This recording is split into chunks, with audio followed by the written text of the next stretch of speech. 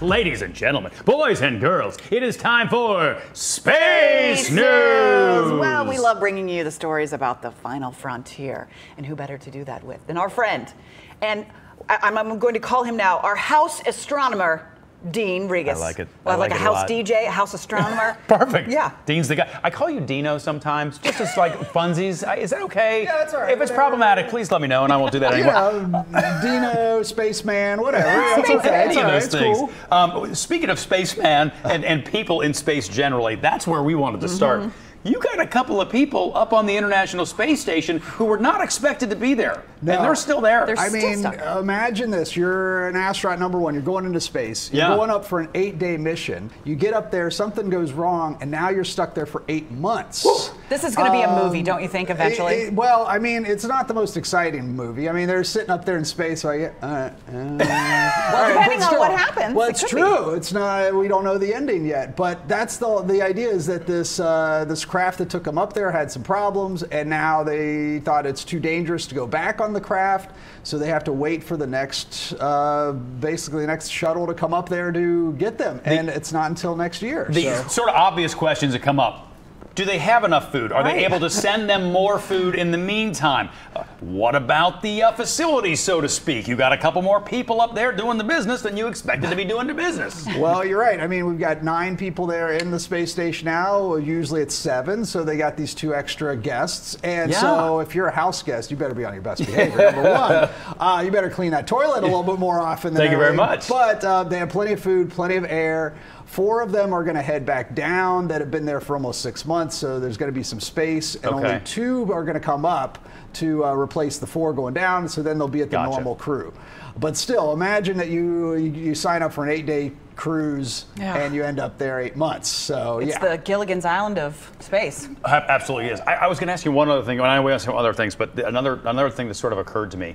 Do you feel like they underplayed how big a deal the problems on that that Boeing craft? Because at first, even when they there was the helium stuff at first, and then there were some thruster problems I remember that happened, but they kept saying things like, "Well, they could come down and it would be fine. We're just doing this out of an you know an, an overabundance of caution." Well, now they're there for eight months. Yeah, I, I think that there were some problems. I think it was probably a little dicey for a while. Yeah. Um, I think they are being overly cautious, probably, which is always good. Understood, To do. sure. Um, I think that what it highlights to me though is that wait a second, I thought there'd be another craft sitting there waiting in the wings, but no. They, this is how short this is. This is how uh, you know precise these missions are. Is that they don't have a backup thing ready to go right away. it's crazy. Okay. Well, moving on, the James Webb is always making new discoveries. We love to show the images uh, out of there. But talk to us about rogue worlds. Yeah, so uh, in our solar system, we have our eight planets go around the sun. Don't that. talk to me about Pluto, but uh, we got our eight planets go around the sun. Now, uh, most planets in, in space go around stars, but there are the occasional rogue planets, these planets that don't have a host star that go around. And so uh, the James Webb Space Telescope found six of them very recently.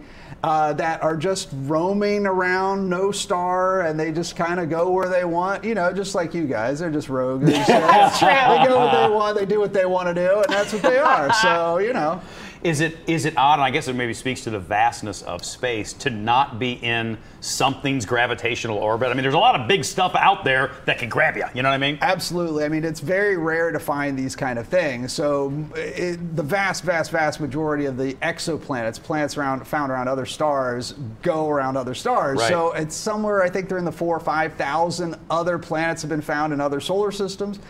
Uh, so these are very weird worlds. They're kind of like almost stars, but not quite stars. I love them. And so, yeah, I mean, you, you gotta you gotta root for rogue planets. I I, mean, pretty yes, cool. I root for the misfits. I root for the ones that do their own thing. As my son would say, they're the. What, what- what did they say? What did, in his gen? They're the sigmas. Oh, They're not the doing alphas. They're not the thing. betas. They're the sigmas yeah. of the Gen Alpha. ger- It generation. totally sounds like They're the name of own a science fiction novel, by the way. It does. Rogue Worlds. I like it. I think it's that's really cool. Yeah. Okay, so new mission uh, to Mars from Blue Origins called the Escapade. Not the Janet Jackson song. Maybe they'll No. play it on the way out. But That would be a good idea. Tell yeah, us about that. escapade or escapades, depending on how you uh, do it. Uh, there's two missions, so it's uh, they're sending this rocket to Mars with these two kind of small-sized uh, satellites that are going to go around the red planet and measure some things. This was this was the idea of like let's do a cheaper, smaller mission.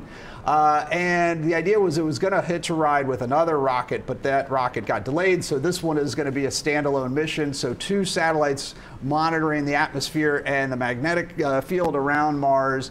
Uh, at the same time, and it's a combo between NASA and Blue Origins, and uh, pretty exciting. So it's launching in October this is going to be a busy uh, couple months because we've got the uh, another mission going up to the space station. We've got this. We've also got one going out to Europa, a moon of Jupiter called the Europa Clipper, which I've been waiting for forever. And so uh, this is going to be an exciting fall for space missions. Well, Okay. you're going to be coming to visit us quite a bit then. We I hope. hope so. I hope. hope so. Yeah, definitely. Don't sleep on the Europa Clipper mission. That is the real, really cool one coming up to see this water world around Jupiter. Love that. I know it's under the radar, maybe because they're nervous about it, but I'm nervous about it too. But I think it's going to go off. It's going to be awesome. Okay. Hey, we, we can't let you go just real quick. I know we're running out of time, Tanner. Um, about something that sort of felt very local uh, in terms of space action. Uh, the, the the fireball that shot through the sky. What about, about this. Look a- a, week ago? Oh, yeah, last week, uh, so many people saw this. It was right at prime time, right about 9:44, where this fireball went across the sky. This meteor that broke up into pieces, and I think the, the biggest thing was you you could tell who went to the Green Day concert that night. Because everybody at the Green Day concert, it was like I don't know what they were playing at that time, but Yeah. they saw this and they're like, "Woo!" How cool is that? What what ca- watch here? Yeah, Boom. yeah, what yeah. causes the pop right as it hits the horizon? Yeah, so this is an object going through space, tens of thousands of miles an hour, Yeah. hits our atmosphere, slows down, and that slowing down transmits into heat.